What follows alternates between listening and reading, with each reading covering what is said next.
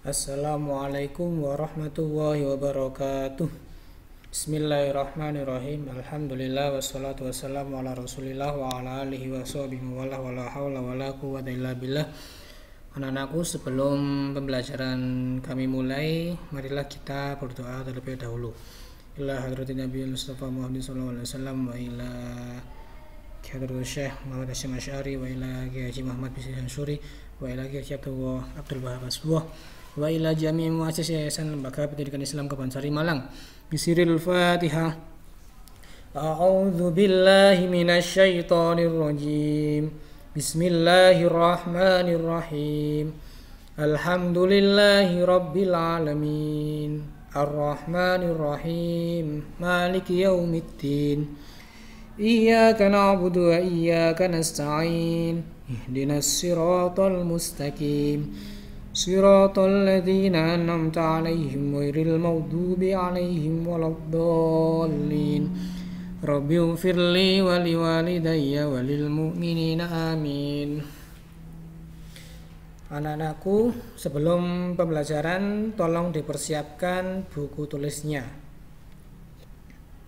Oke, kalau sudah kami mulai dengan basmalah.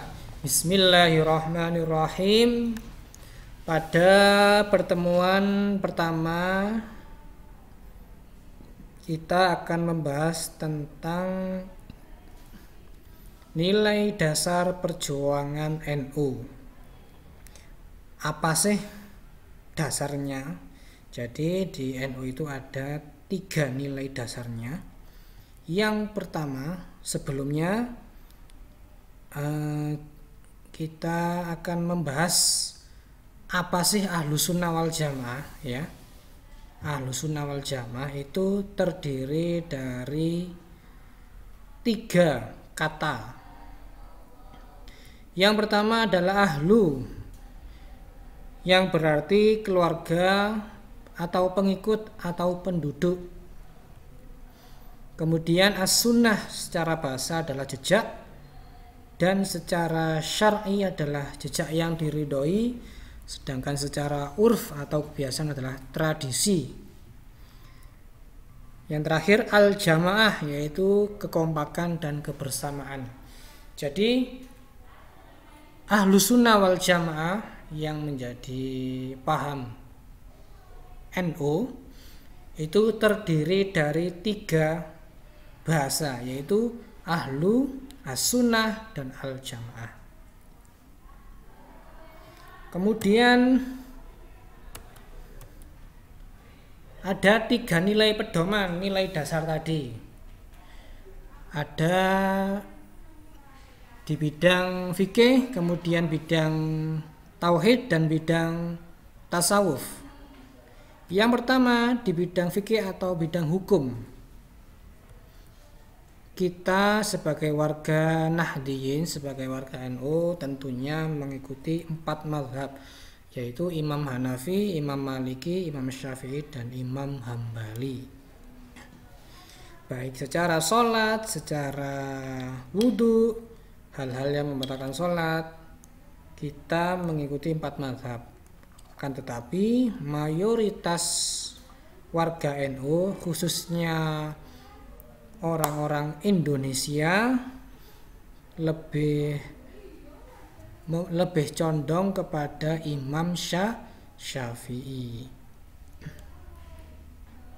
Baik itu dari segi sholat maupun ibadah yang lain. Kemudian yang kedua, dalam bidang tauhid, nilai dasar NU yang kedua yaitu bidang tauhid kita mengikuti Imam Abu Hasan al-Ash'ari dan Imam Abu Mansur al-Maturidi. Seperti contohnya sifat wajib Allah, sifat muhal Allah, sifat jais Allah, sifat wajib Rasul, sifat jais Rasul, sifat muhal Rasul dan lain-lain itu semuanya kita mengikuti Imam Abu Hasan al-Ash'ari dan Imam Abu Mansur al-Maturidi. Kemudian nilai dasar NU yang ketiga yaitu bidang tasawuf. Kita mengikuti Imam Junaid al-Baghdadi, Imam Al-Ghazali. Apa sih bidang tasawuf itu? Tasawuf itu nama lainnya akhlak. Gampangannya akhlak. Dari segi tutur kata, hati, lisan, pikiran, takrama semuanya kita mengikuti ilmunya mengikuti Imam Junaid Al-Baghdadi dan Imam Al-Ghazali. Saya ulangi lagi.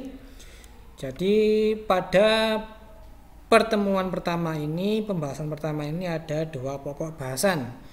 Yang pertama adalah pengertian ahlu sunnah wal jamaah.